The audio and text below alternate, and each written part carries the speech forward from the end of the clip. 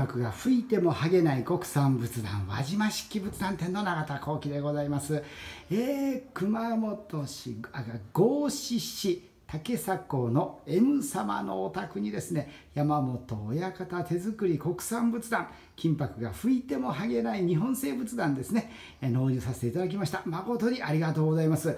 素晴らしい70坪のご新築でございます。素晴らしいですね。見てください、これ神棚も当店から購入いただきました。誠にありがとうございます。この神棚はすごく大きいサイズですね。あとですね、お仏壇の方もですね、あの熊本あのホームページでいうと熊本ですね。あの高級品の大きい方をですね購入いただきました。ですからお道具も一流品ですね。24金仕上げの輪頭ですね。あとお道具も、えー、全部これ24金仕上げのご具足ですね。お道具。あとし京机も主の京机ですね。これ予想はあんま持ってらっしゃらないんですよね。熊本だけうちだけで熊本で多分うちだけではないかなと思っております。はいこれ一式つけました。この度は誠に素晴らしいご新築おめでとうございます。心よりお祝い申し上げます。